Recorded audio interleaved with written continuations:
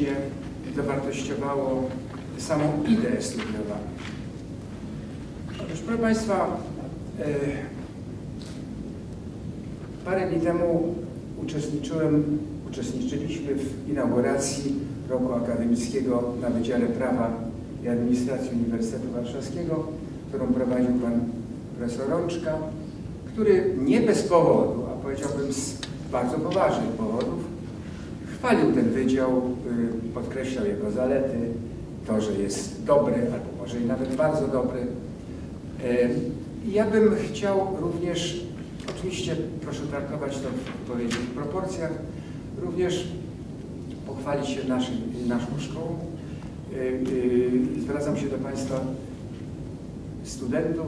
Widzieliście już gmach, który zrobił duże, zapewne duże wrażenie na Państwo. Większe jeszcze wrażenie zrobią wykłady i inne zajęcia, które rozpoczynacie. To dopiero będzie prawdziwa przyjemność i prawdziwa uczta. To mogę Państwu e, obiecać i o tym mogę e, zapewnić. E, proszę Państwa, ja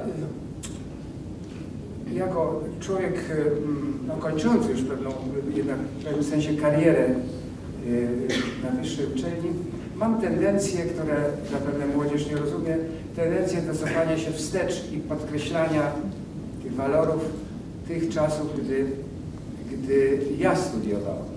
A były takie czasy, Państwa.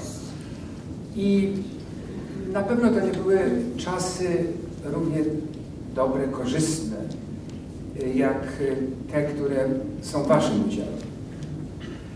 E, studiowaliśmy, myślę, że mogę to powiedzieć również w imieniu swoich kolegów, w czasach, które, e, no, które z różnych powodów nie były satysfakcjonujące.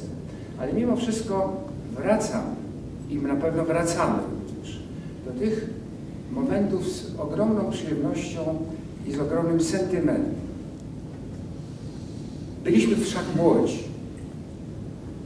Jesteście Państwo, macie Państwo tą ogromną, nieprawdopodobną zupełnie zaletę i cechę, jest, którą jest młodzież. Młodość, która powoduje, że wchodzicie w uskrzydleni w te, w te studia, że one będą stanowiły dla Was zaczyn Waszych przyszłych karier.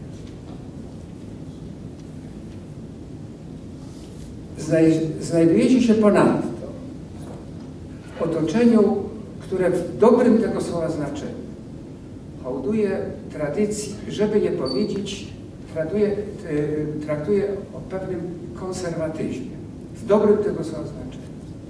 Nigdzie indziej wszak nie spotkacie Państwo pań, panów ubranych w togi, z łańcuchami, z biretami, Nigdzie nie spotkacie, nie usłyszycie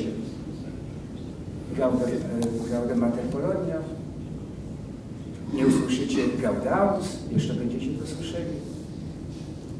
To jest to miejsce, w którym ta tradycja jest kultywowana, jakże słusznie. Być może jest to jedyne miejsce, w którym się możecie z tym spotkać. Docencie to. Po studiach znajdziecie się w zupełnie innym otoczeniu. W innym otoczeniu, które nie będzie hołdowało tym związkom z przeszłości, ze średniowieczem, z późniejszymi czasami, gdzie się możemy odnaleźć przecież nasze korzenie, naszej cywilizacji. Proszę Państwa, usłyszycie jeszcze Gaudamus na samym końcu, na koniec na końcu tej inauguracji. To nie jest zwykła pieśń. Pieśń, być może jej korzenie były zwyczajne. Ona w tej chwili urosła do rangi nadzwyczajnej pieśni.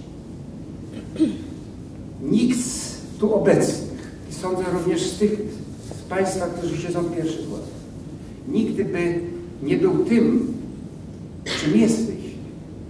Gdyby swego czasu ileś lat wstecz, nie usłyszał tej pieśni, dla siebie grali,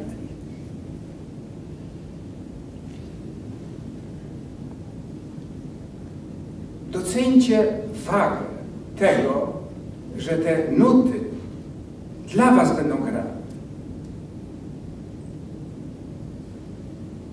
To jest piękne, wzniosłe, jedyne przeżycie, jedyne w swoim rodzaju. Proszę Państwa,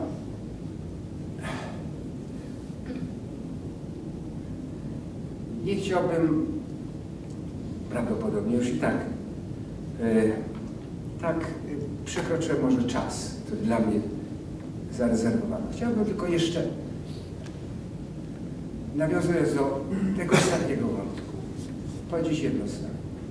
Ja też kiedyś siedziałem, tak jak Państwo, jak Wy, studenci, młodzieży, na sali Audytorium Maksimum i brałem udział jako przyszły student w inauguracji roku akademickiego na Uniwersytecie Warszawskim. Tak jak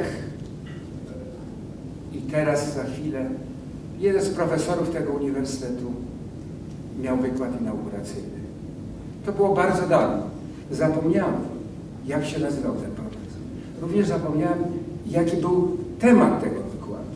To było bardzo dawno, proszę Natomiast tenże wykładowca po zakończeniu merytorycznego wykładu powiedział, a teraz ostatnie zdanie powiem nie jako profesor, tylko jako wasz, wasz starszy kolega. Powiedział tak, pamiętajcie, całe życie pamiętajcie o tym, że jak rano wstajecie i spojrzycie w lustro, to nie będziecie się wstydzili tej twarzy, którą widzicie.